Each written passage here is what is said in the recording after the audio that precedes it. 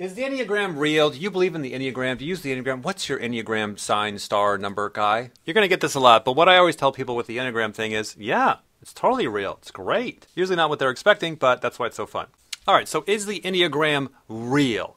Does it work? Well, let's look. You have thousands of people out there that love it. They have videos, they'll talk about it, teach it, help each other, write about it, and will absolutely swear by it. Now let's look at their life. They were in a hard time, they were trying to figure themselves out, trying to get through some pain, and it's done wonders for them. So you're going to tell me to tell them that that's not real? No. Now, does that mean that it's objectively trackable, scientific, backed up with tons of research? No. Does it really claim to be? No, not as far as I can really tell. Now, the Myers Briggs, on the other hand, that's where they got in so much trouble, as they claimed to be scientific, but then never came out with any studies, numbers, backing.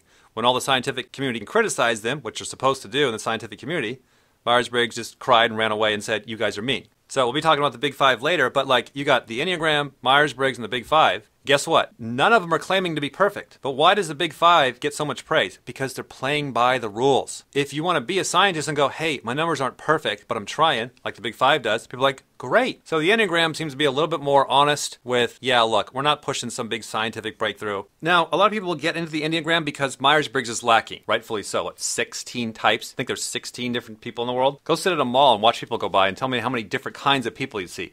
Carl Jung said this, it's on a video on YouTube. He said something to the effect of like, there could be 360 personality types for all he knew. Now, he was just throwing that number out there referring to a circle, so I wasn't taking that quite literally. But he was saying, guys, there's more than 16 combinations. So, the Enneagram, in my opinion, and from what I've heard a lot of people say who are really into the Enneagram, is that the Enneagram is trying to kind of fill a void that Myers Briggs has kind of left. Because people are like, oh, I'm this Myers Briggs type, great.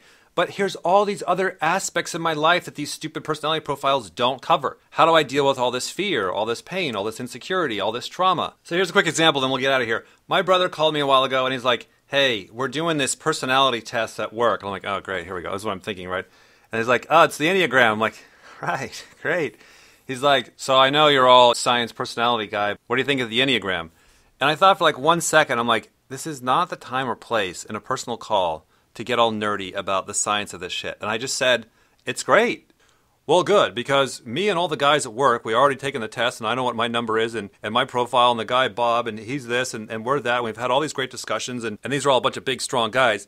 And it's like, oh, wow, I'm glad I didn't shit on it because he's already used it and had a positive experience from it. The Enneagram allowed these rough, tough, strong, antisocial guys that have been around each other for a long time to finally have an emotional, honest conversation with each other. This is happening to people all around the world, and you can't go in and take that away from people and say it's fake, it's dumb, it sucks. And they walk away from you like, I don't know what the hell, man, but that brought a lot of goodness to me and my pals. Now, the downside is a week later, they ain't talking about it, they're back to beating each other up, and everyone's a jerk again. But long term, some of that stuff does stick.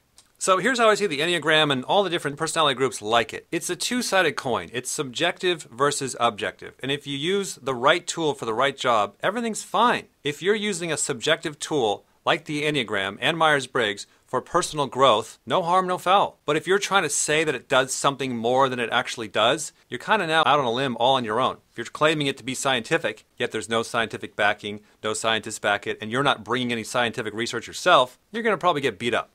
So the Enneagram is filling a void of people that are wanting to go, look, all this psychology stuff is great. How can I apply this to my life? How can I grow? How can I get better? So, is the Enneagram real? Sure. It's subjectively real. If you read the profiles like I have and identify with them, and it gives you some good wordings and insights and understandings and people you can talk to about some issues in your life and grow and get better, great. Now, is it objectively trackable? Is it scientific?